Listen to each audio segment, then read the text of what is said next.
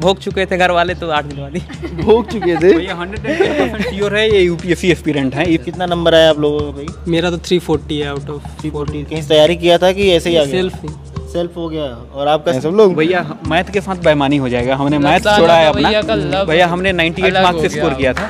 Class tenth में भी किया था। ट्वेल्व में भी किया था फिर भी मैथ छोड़ा रोते रोते छोड़ा यूपीएससी के लिए। बेईमानी हो जाएगा अगर नहीं हुआ तो। डोमेन कोई नहीं मांगा भी नहीं नहीं। नहीं आर्ट्स के लिए नहीं मांगा है। सोशल के लिए भी नहीं मांगा है। एग्रीकल्चर के लिए मांगा एग्रीकल्चर के लिए मांगा था हम अपने आर्ट्स की बीएससी की बात मैथ के लिए भी मांगा है। बायो के लिए तो- भी मांगा है। आर्ट्स और फोफल में नहीं मांगा है डोमेन आर्ट्स और फोफल में जनरल टेस्ट और लैंग्वेज की बेसिस लैंग्वेज के बेसिस पे दो चीज़ के बेसिस पे हमारा एडमिशन हो जाएगा। लैंग्वेज में बहुत ज़्यादा नंबर चाहिए होता है मतलब 190 प्लस 200 में। ऑप्शन में भी बस केवल बी ही डाला था मतलब अगर यहाँ नहीं है तो कहीं पर भी नहीं। कहीं पर भी नहीं। बोलता है कि लाइफ में ऑप्शन नहीं रखते हैं, में सात सौ पैंतालीस नंबर है इसका।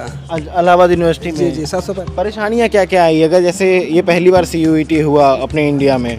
भैया चार बार डिले हुआ एग्ज़ाम चार बार एडमिट कार्ड हमने नया निकलवाया सच में। अच्छा। जी बिल्कुल। भैया हम लोग एक्सपेरिमेंटल डॉग बन के रह गए हमेशा से। आई वाईटी में लेना चाहिए था एडमिशन नया भैया आपका हमेशा यही टॉपिक क्यों रहता? है आईआईटी में नहीं ना? नहीं नहीं भैया। सिर्फ़ आईआईटी वाले कंट्रीब्यूट नहीं कर रहे हैं सोसाइटी को सब लोग ईच एंड इक्वल तरीके से सब लोग कर रहे हैं। क्या नाम है? अंश।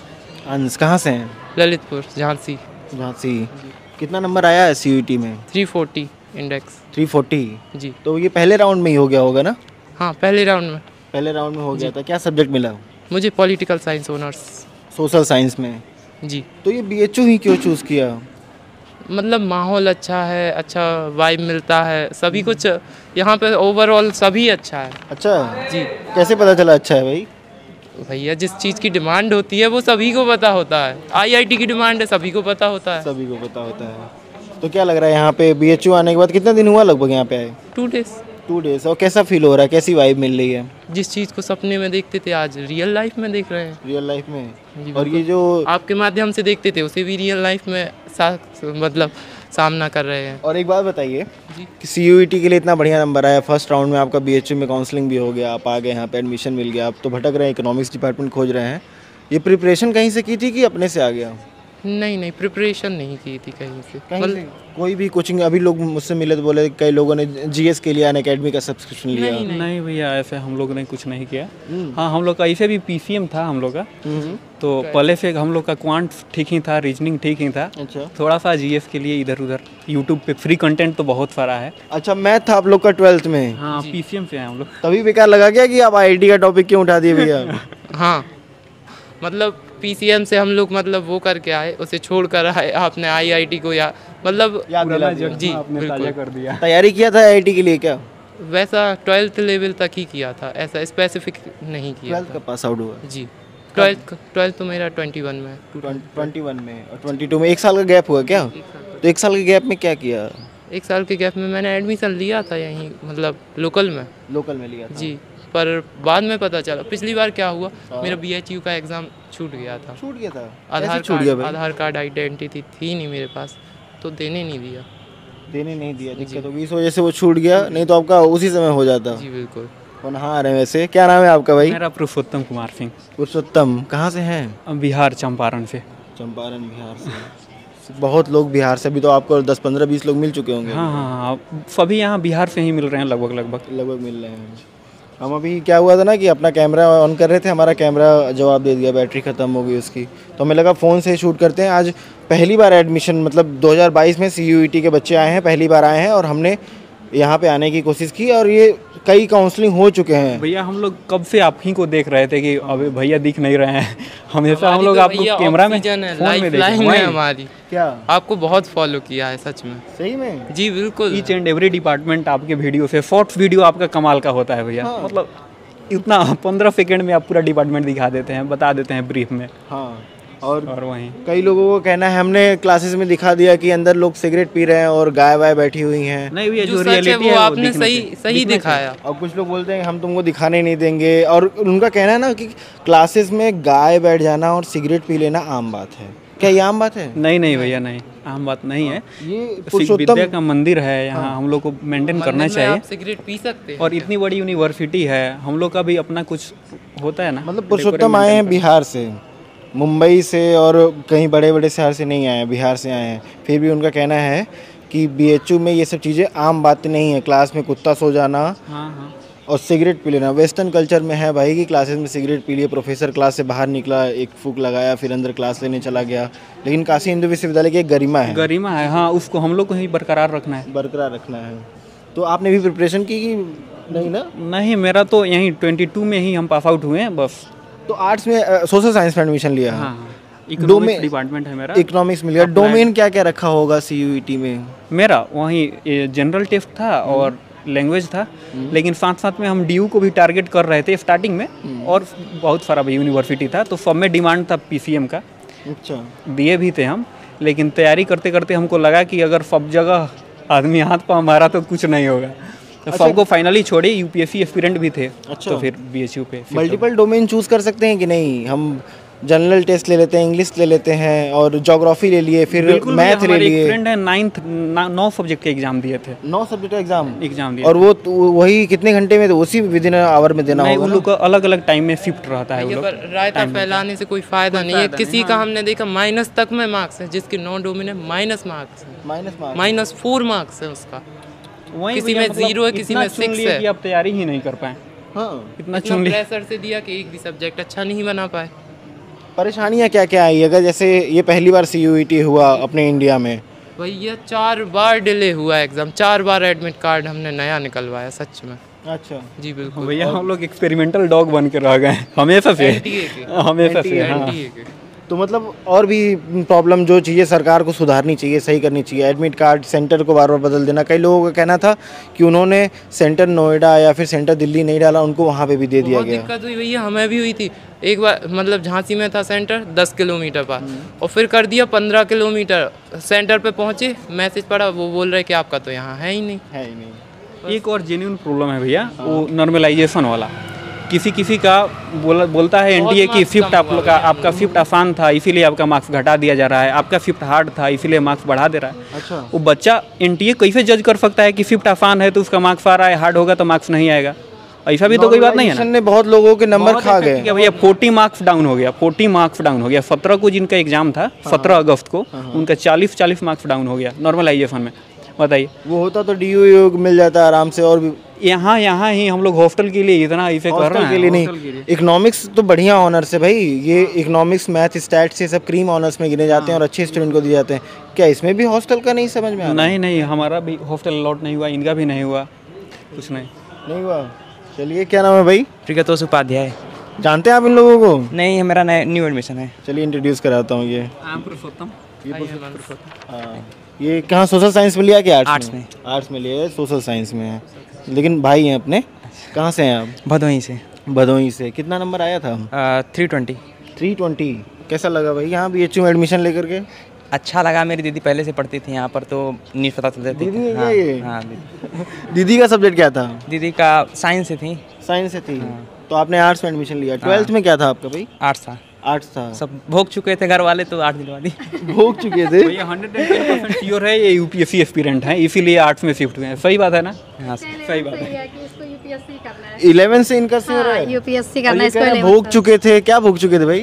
मतलब हम लोग बोलते थे कि ये नहीं हो रहा है मतलब नहीं समझ में आ रहा है रोज प्रैक्टिकल करो खुद का टाइम नहीं निकल पाओ। मतलब सेल्फ स्टडी का टाइम कम निकल पाता है ना? तो फिर ये बोलता दीदी आप कितना रोती हैं? तो बोला कि हम नहीं लेंगे साइंस अब मतलब दीदी का भोगना देख करके आपने साइंस छोड़ दिया।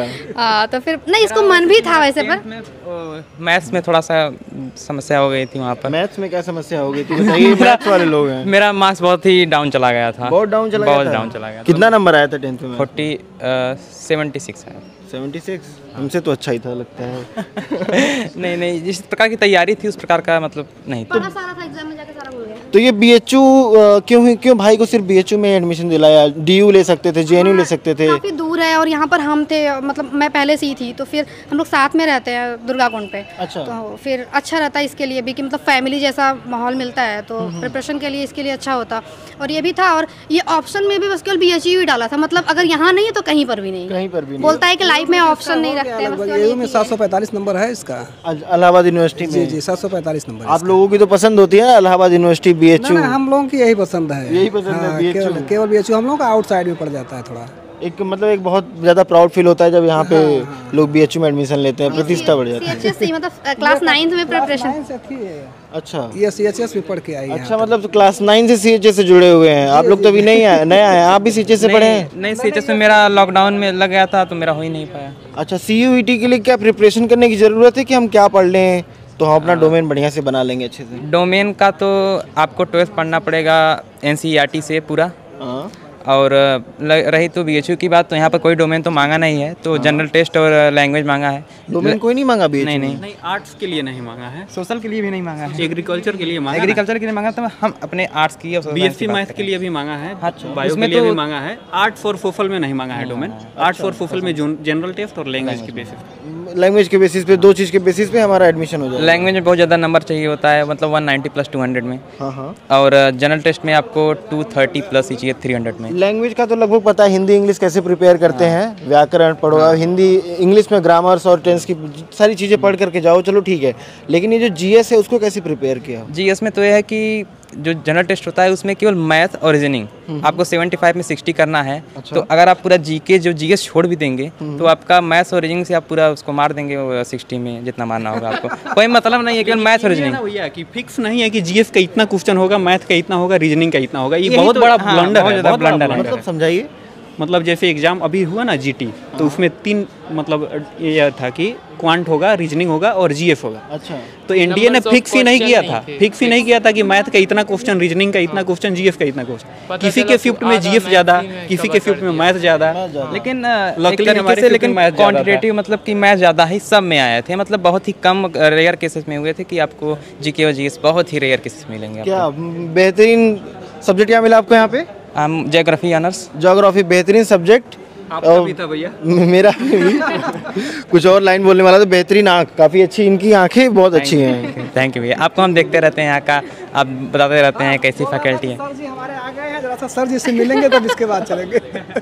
ये तो प्यार है मतलब हाँ, हमारा भी कुछ काम फल मतलब हमें फल मिलता है यही सब हमारा मतलब है प्यार है हमें और कुछ नहीं मिलता। अभी देखा ना तुरंत बोला सर जी से मिल के बिना नहीं जाएँगे हम पहले मिलेंगे इसके बाद ही जाएँगे। ठीक है कितना खर्चा आ गया एडमिशन कराने में?